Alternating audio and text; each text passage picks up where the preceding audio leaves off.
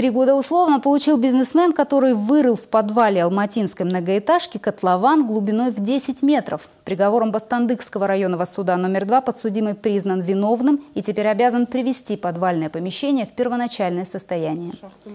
Расширять торговую площадь предприниматель начал еще 4 года назад. Жильцы дома об этом знали, однако мешать ему не стали. Боялись остаться без благ цивилизации. По данным прокуратуры, находчивый делец, помимо этого, что являлся старшим по дому, был собственником всех квартир на первом и втором этажах. Внимание органов привлекли рабочие, которые выносили грунт мешками.